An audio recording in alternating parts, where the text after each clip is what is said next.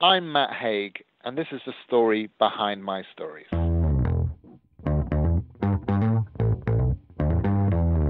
You're listening to the Author Stories Podcast, bringing you the story behind the stories and the storytellers. Margaret White, Terry Brooks, Sheena Kamal, Matthew Quick, JT Ellison, Walt D. Williams, Brad Thor, Cory Doctorow, Brandon Sanderson, Robin Mom, Ernest Cline, Jim Butcher, Charlaine Harris. Visit hankgarner.com for archives of all the shows. Today's guest is Matt Haig. Thanks for tuning into Author Stories. I really appreciate you listening. If you go to hankgarner.com, you can go through all of the archives, more than 300 shows, author interviews with the very best people in publishing today. On the right hand sidebar, there's places where you can subscribe uh, for just about every platform that you could possibly listen to the show on. I'd like to thank some sponsors today for their faithful support and for enabling us to bring you quality content like we do. Uh, Crystal Watanabe from Pikko's House is uh, one of the best editors I've ever met and uh, whose work I really admire. She offers developmental editing, line editing, and beta reading. Uh, she's currently booking for May, so go ahead and send her uh, a message now to uh, get your project scheduled with her. She has four proofreaders on staff, so she can accommodate authors with much shorter lead time than some other editors do. she's a new affiliate member of the SFWA and she comes recommended by best-selling authors such as Hugh Howey and Samuel Peralta. Uh, most of her experiences with science fiction, speculative fiction, and middle-grade fantasy, uh, but she really enjoys editing all genres and can really make your project shine. If you will mention author stories when booking uh, your editing services, you can receive a $75 discount on manuscripts over 60,000 in length or $25 discount on short stories. Pikko's House, P I K K O S H O U S E. Please tell Crystal that you heard about it on Author Stories. Also, the Debt Collector series by Chuck Buda. Debt is a death sentence. Michael Wright lives the American dream. He works hard every day but still lives paycheck to paycheck. The bills keep piling up, and now his 10 year old daughter requires surgery to save her life. Michael is in a race against time to find money, but how far is he willing to go? Is he prepared to do whatever it takes? Can he defeat a menacing evil that stands in his way? The Debt Collector series is a gripping tale of psychological horror, raising questions about our modern lifestyles and the terrifying possibilities that hit too close to home. One reader described it as if serial killers and Wall Street made friends. Pay up and die, delinquent, bankrupt. The Debt Collector series is available in paperback and ebook formats exclusively from Amazon or free through Amazon Kindle Unlimited. Walk Beside Me by Christine Handy. Willow Adair has a picture perfect life, or so it seems. A stunning model turned wife and mother, she lives in a beautiful home with her husband and two kids in historic Bexley, one of the wealthiest neighborhoods in Columbus, Ohio. On the outside, she has everything. On the inside, she struggles with issues of self worth. Spurned by her neglectful husband and hated by her rebellious teen daughter, Willow never feels she is good enough. She fears everyone she loves will leave. Walk Beside Me is the story of a woman who peels away the layers to find her inner warrior, a woman who faces insurmountable odds and, thanks to her earthly angels, learns to treasure the gift of God's infinite light and love. Walk Beside Me by Christine Handy. Thank you to all of our sponsors for making the show possible. If you would like to sponsor the show, please go to hankgarner.com and there's a link in the top menu bar where you can do that. At the end of the show, if you'll stick around, we're going to have an audiobook clip from Richard Gleaves, the Jason Crane series.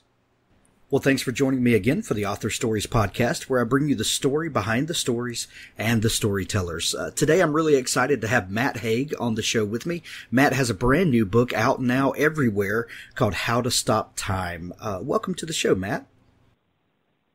Very nice to be here. Thanks for having me. Uh, Matt, I begin each show with the same question, and that question is What is your first memory of wanting to be a writer or a storyteller? Well, that's interesting because I always wanted to be a writer. Um, I always, in the sense that I always wrote stories, and you know, my mum has got shoeboxes full of stories I wrote as like a five and six year old um, full of stuff. It was about cowboys or Star Wars or science fiction, whatever it was, and I used to sort of draw my own pictures and write. So was, I've always been writing. I think I didn't have the ambition necessary to be a published author until much, much later for all kinds of reasons, mainly because I didn't have the confidence in myself, needed to sort of imagine my own name on a book or anything like that. So that was probably deep into my 20s before I started to think about that. But um, yeah, it, writing has always been, along with reading, it's always been something I, I, I wanted to do. And later on, it became something I needed to do. It was a sort of kind of therapy for me. Um, so yeah, it goes back as far as I can remember, really. And and God bless those uh, early days of just wanting to be a writer and to tell stories without all of the uh, the complications of, of having to make it a career. yeah, absolutely. Yeah, exactly. And and it's very hard um, when when it is a career to sort of try and get into that mindset. But I, I still try and do that. I still try and imagine I'm just sort of doing this as a hobby and just you know playing around because if you treat it as play, then it becomes better. You write better if you're sort of enjoying what you're doing. Exactly, exactly. Um, you said that uh, that you didn't really consider making a making a career of it, of it until uh, you were in your twenties. What was the the catalyst that uh, that got you thinking like that? Um, well, it was actually, you know, not to turn this into a therapy session or anything, but I had, I had had experience of sort of mental health problems in my 20s with anxiety and depression. I had a kind of breakdown when I was 24 years old. It was a very long, painful experience in my life that lasted about three years of being very unwell. And during my recovery, one of the things that really helped me a lot was reading and writing. And um, I wasn't particularly writing stories at that point. Um, I was sort of more writing down what I was feeling, and it was a lot of it would be quite unreadable and quite painful to read now.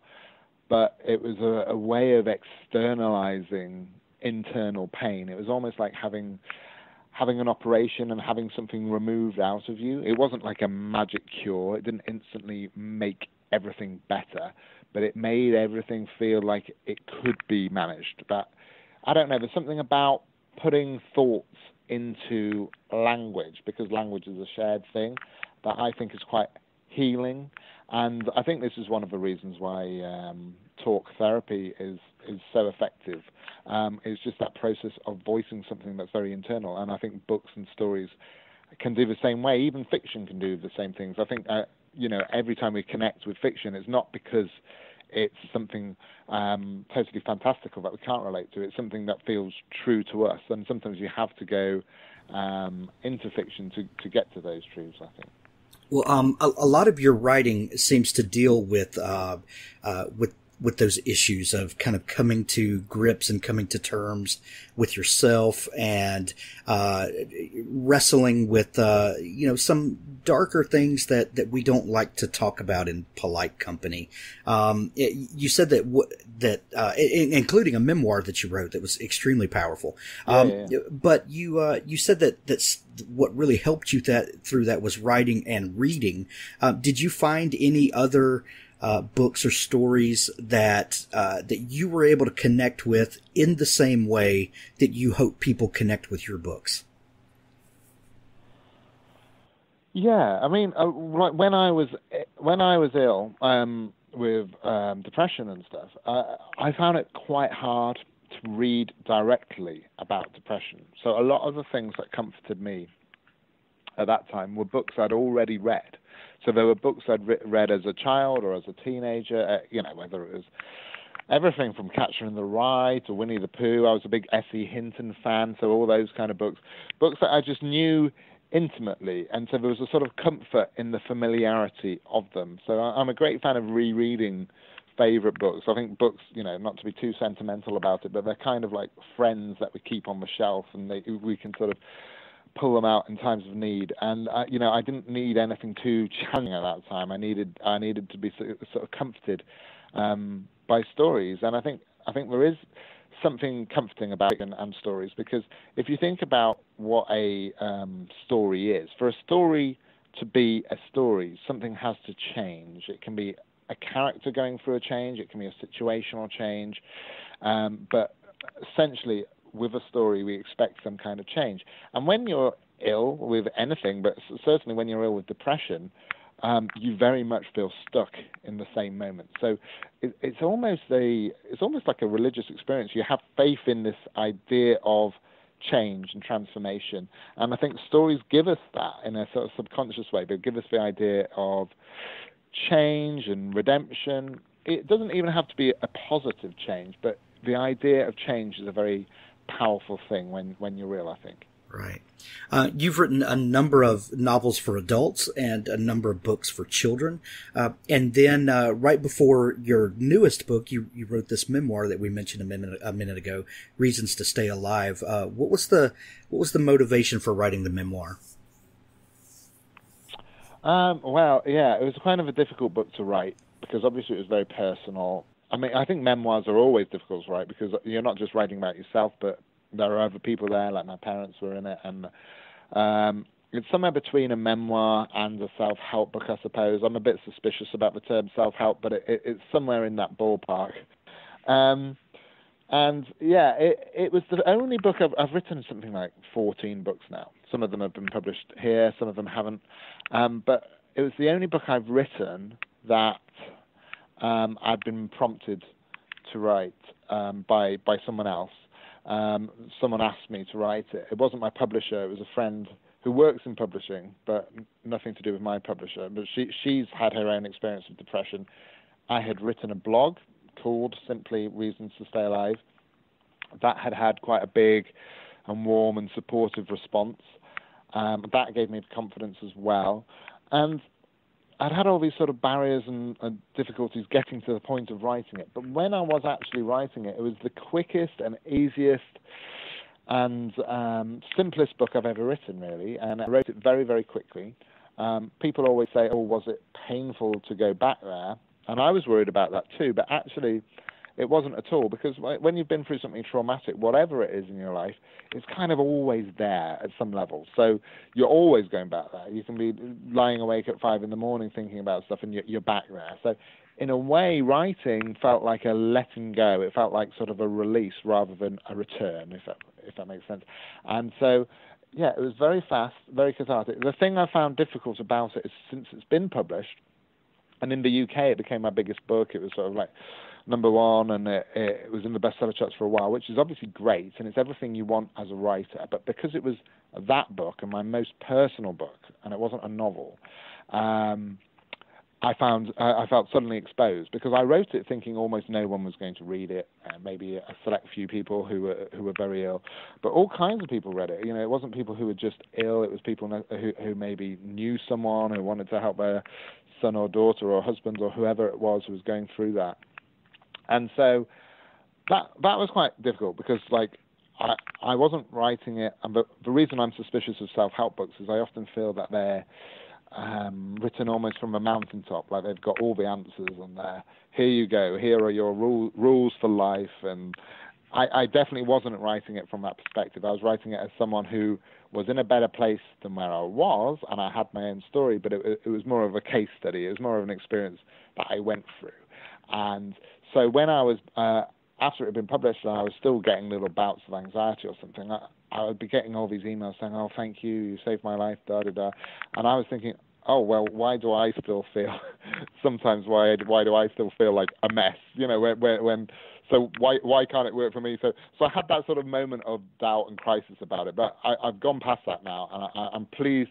I suppose I don't think it's my best book, but I think out of everything I've written, it's probably the one I, am proudest of, in the fact that it's been useful to people. It's had some sort of practical use, which isn't often the case, certainly when you're writing fiction. But it, it, it's been useful in that way. So that you know, I can't, I can't, I, I've come to terms with that now, and I'm glad I've it's out there. Yeah, absolutely.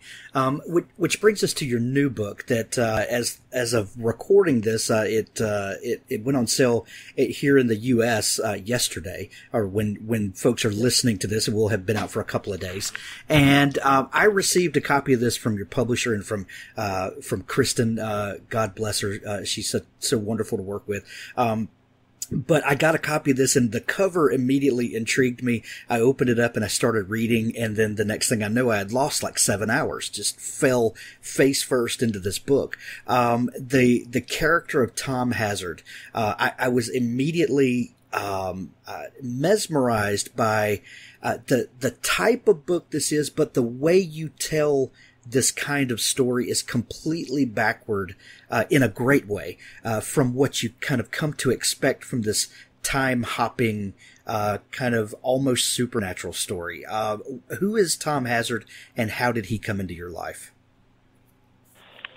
Well, Tom Hazard is someone who, who outwardly looks like an ordinary 40 year old um, history teacher living in London, but actually he, he, he's not. He's 439 years old. He was born in 1581. He um, has a very rare condition known as anageria, um, which, for the purposes of the book, it's a condition where you age very slowly. You still age, you're not immortal, but for every 15 normal years, you only age one biological year.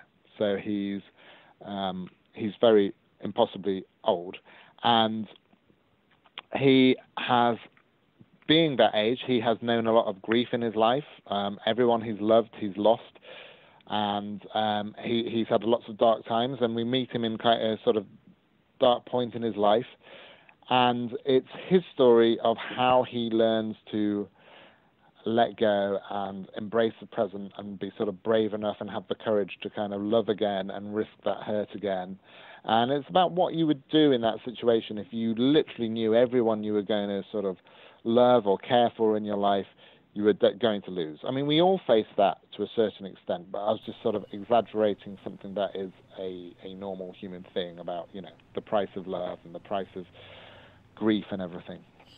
Um, how did you decide to uh, on the the time span that this book is set in? Uh, why did you choose 1500s to present? Uh, were there specific historical events that you wanted uh, to highlight and to touch on? Yeah, absolutely. I, I mean, one reason though was because oh, it sounds ridiculous when you're writing a story about a um, 400 39 year old man, but I, I, I, wanted to make it relatively, within the book, I wanted to make it relatively feasible, relatively realistic. And um, as I was doing my research, I felt like, well, if he's like 2,000 years old, that, that takes it into a whole different level of fantasy. If, if we do it sort of un, under 500 years, you know, there are living creatures who do live that long. Recently, there was a Time magazine article and um, all kinds of reports in scientific publications about these sharks they've discovered around Greenland, Greenland sharks they're called, and they, they've carbon dated them, and, and they actually found out they're a thousand years old. And there's these clams that they've discovered that are over 500 years old, and all kinds of sea creatures. So obviously, it's it's an unrealistic length for a human to live. But I thought so long as there were living, breathing creatures beyond that, um, it would be relatively plausible. And then within those sort of 500 years, I was partly cherry picking my favorite, most interesting periods, whether it was um, early Hollywood, like 1920s Los Angeles, whether it was um, Shakespearean London, whether it was Paris in the 19 um, 20s, New York in the 1890s, all, all kinds of um, periods that have fascinated me. I mean, obviously, it ha- it's Tom's story, so it has to serve Tom's purpose. But rather than follow Tom year by year by year, I was I was more trying to um, replicate the idea of memory. You know, we don't remember things chronologically. So if Tom's walking along a street in London something will sort of flash back in his mind, and he'll, he'll think of something, and it's it's a, it, it has a logic to it, the the structure of a story, but it's not a chronological logic. It's kind of um, emotional, and it sort of makes sense in Tom in Tom's mind. So I was pick, picking certain areas, certain things. Um, the only other thing I would say is some things were sort of like practical points for the plot. Like for instance, I did not want to write a book that was 500 years of English history or 500 years of London history. I wanted to get Tom out of England. And so, obviously, for most of his life, there weren't aeroplanes or means to do that other than by going out on a, on a ship. So, um, halfway through his life, he, he goes off on Captain Cook's second voyage and um, travels the seven seas and goes to Tahiti and goes to the southern hemisphere and stuff, and also in um, the 1800s he he goes to America. So I was very determined that as well as having a breadth of time, there'd be a sort of breadth of place to it as well. Um, other than the, the time and place elements that you wanted to touch on, what were some of the um, the the personal uh, circumstances that you wanted to wrestle with uh, with Tom in this book? What sort of um, what sort of uh, personal growth uh, things did you want to put Tom into to see how he would react? Um, well, I, I thought it would be quite neat. I mean, there's lots of horrible things he goes through. I mean, I, I thought it'd be quite a ni- nice idea to to have have him have to keep his condition secret. So when when he was younger, he was in an age which believed in witchcraft and superstition, and this affects not just himself but people he knows. So he learns from an early age to have to keep it secret, which I thought was a nice metaphor for all kinds of things. Obviously, for sort of like mental illness and other things which, have stigma and people keep quiet about. And so a lot of his a lot of the sort of challenge for Tom is is keeping it secret, and it's one reason why he has to move around because obviously if you are staying in one place with the same people, they will eventually realize you aren't aging or not aging in a normal way. So every eight years or so he has to move about. So he he he literally is this rolling stone trying to gather no moss for most of his life. And in the present moment, he's at a turning point. He's in London. Um, he's decided out of everything he could be, and he could be almost literally everything because he's he's now part of this. Uh, it's called an albatross society. It's a society of people like him, very long-lived people who have anageria, who are hundreds of years old, and it's run by this sort of kind of sinister guy called Hendrich, and he he he basically puts people where they want to be uh, and sort of arranges ha- has all kinds of ways of arranging things to happen. And the thing Tom has chosen is to be a history teacher in present day London in a public school not a very nice part of London either. And I like the idea that given this world of infinite choice, you know, rather than be in some lemon grove in Sicily, rather be, than be on some desert island living a life of luxury, he's actually trying to do something useful with his time now, and he um, he, he becomes a history teacher, which is the most obvious thing for him to be, as he himself is history. So, what better way to bring history alive and someone who actually is history? But obviously, it makes keeping who he is secret a little bit harder now. He's surrounded by more people. But uh, yeah, that that was that was the sort of starting point, really. This history teacher who himself is history we uh, Matt, we think of the the typical arc of life. Uh, you know, about 70 to 80 years old. Uh, and we have uh, certain preconceived stages of life. Uh, you know, we're, we're to fall in love in our, in our 20s. We're to get married. Uh, after that, we're to start having a family. We're to be really responsible in our 40s and 50s, and and and then we're to have grandchildren, and we're to start our slow decline and watch our families uh, take on from us. Um, but now we, we have more and more people that are, are hoping and wishing that that we can extend life and we can keep pushing those boundaries out. Um, in a, a character like Tom, who is robbed uh, so to speak, of that typical life arc. And, and he doesn't get to experience what the rest of society is experiencing. Um, how do you think his story uh, may help us wrestle with what it means to live longer and is living forever something that we really want? Well, yeah, I mean that was the kind of uh, therapeutic aspect for me was looking at this because um, I'm someone who is a naturally quite neuro- neurotic person. I'm quite a hypochondriac. I get into terrible little spirals of thinking I've got various ailments and illnesses. You know, the sort of writer cliche of a sort of neurosis-ridden person. right. I um, may I may have eight eight different strains of the flu right now. Right. Yeah. Exactly. you know, I woke I woke up with a little bit of a sore throat this morning. I thought, okay, here we go. Um, so I I think it was quite therapeutic to actually look at the opposite. Look at look at the fantasy, looking at most long life, and actually seeing, especially if not everyone is doing it. If if it's if it was just you alone, you know, what would that feel like? And um, you know, I, I think I think it would be a curse as much of a blessing. And I, I I've you know, in researching this book, I saw lots of interviews with normally old people, you know, in their 70s and 80s, and they say, you know, there's a lot of good things about getting older. The hard thing about getting older, one of the hard things is um, how you keep things fresh, how you think, keep things new. If you think about a lot of people's favorite songs or favorite books or favorite films, they're often things they watched in their sort of younger half or experienced in their younger half of their life um, uh, when when th- things start more intense. So to, to to not have that, not just a physical fading away, but to not have that sort of emotional fading away, I think um, would become a challenge beyond the sort of normal human time span, and how how you stop that feeling like you're just repeating everything.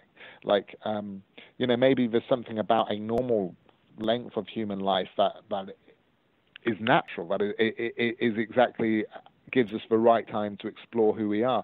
And once we start pushing that beyond, I think there'll be all kinds of challenges. And then, of course, there's going to be ethical considerations because there are, you know, the, as you know, there are these sort of Silicon Valley firms and all kinds of biotech firms around the world who are looking at trying to um, artificially um, make us immortal. And obviously, when this if and when this actually happens, it will be the very, very super rich who first have access to this. So it will, it will create an even more unequal society, and with the sort of swelling population, it will create, you know, all kinds of questions and issues about um, population growth and you know the strain that will put on things. Um, so yeah, it was it was fun exploring that because you know obviously we we all like it, you know the idea of living forever, but when you actually pay it close attention, there are a lot of questions that are interesting to explore. Yeah. Um, how to Stop Time is uh, is releasing here in the states uh, right now, and uh, a, a, lot of people are going to be discovering this wonderful story. But this book has been out for uh, six months or so uh, in in the UK, I believe, and you already have some uh, some great film news about it. Would you like to share some of that with us? Yeah, the film's been out for a while in the UK. It's been uh, well, it's still I think uh, uh, we find out today if it's still still in the top ten, but it's been a bestseller for a few weeks now as well.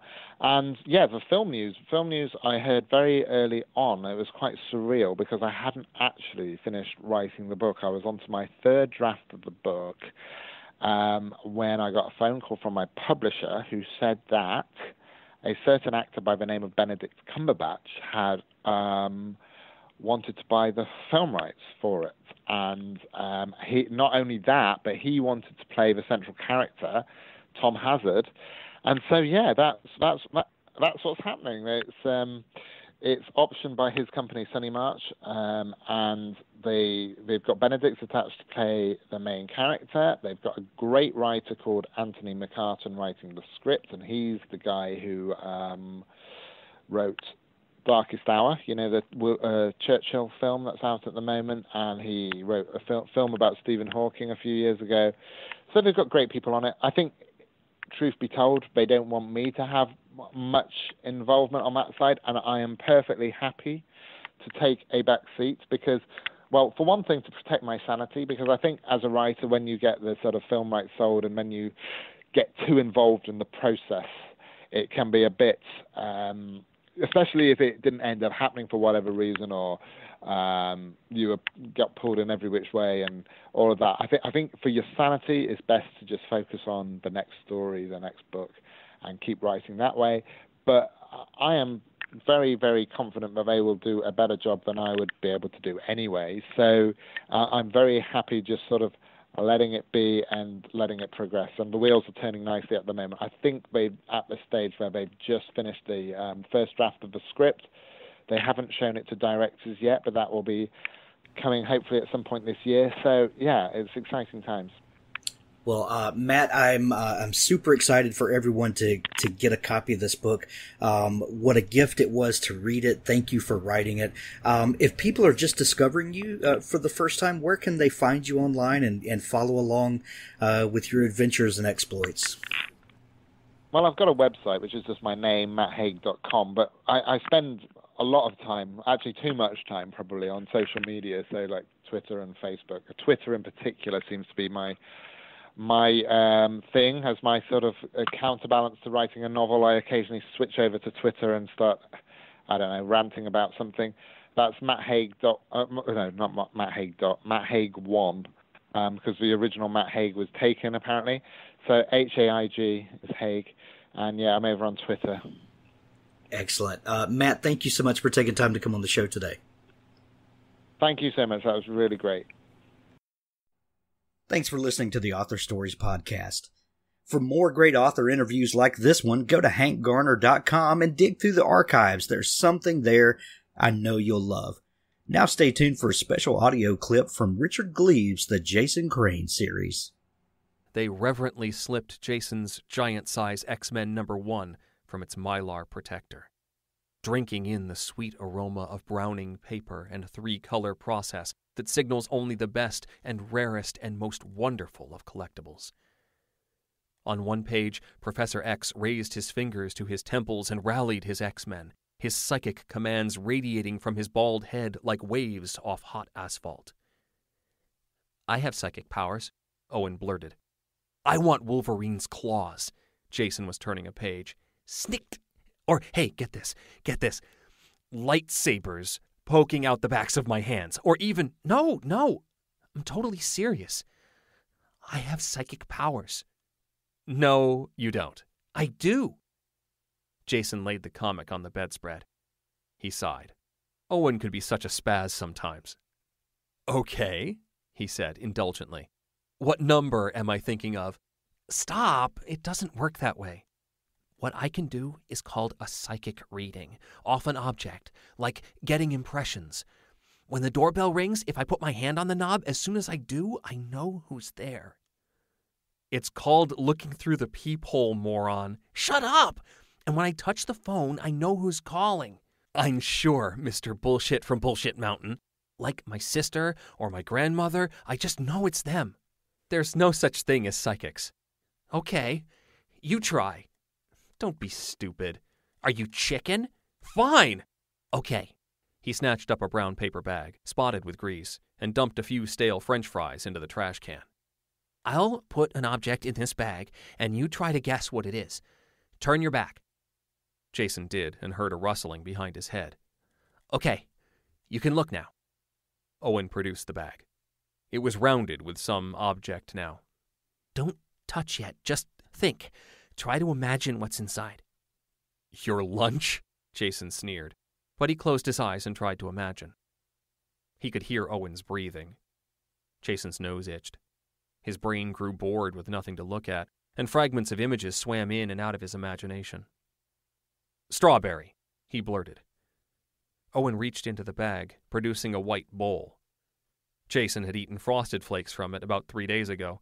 A few stuck to it, like little beige fish scales. See? I lose. No, look here. Owen pointed. A design went around the sides of the bowl a long string of vines and painted fruit, with strawberries. That's. Jason began, but didn't know how to end the sentence. It's cool. See? What did I tell you? Do it again. Jason closed his eyes. An image like daisies and sun and yellow, he blurted after three seconds. Oh my God, open your eyes! Owen held a bright yellow highlighter pen. I hadn't even put it in the bag! And so they went, for 30 minutes or more. A staple remover, a toy soldier, a sweat sock, a pencil. Jason never said precisely what was in the bag, but it was always close or related. He'd imagine a cockpit, and Owen would produce a game controller. He'd say plate, and the object would be a CD. He made right angles with his pointer fingers, shrugging, only to have Owen pull out Eliza's knitting needles. His friend became more and more enthusiastic, but Jason became a little scared. You have a real gift, Owen said. You're like brilliant. Owen babbled for a long time about astral projection and ESP, how Jason was picking up signals from Owen's own psychic powers, which had obviously been doing the broadcasting.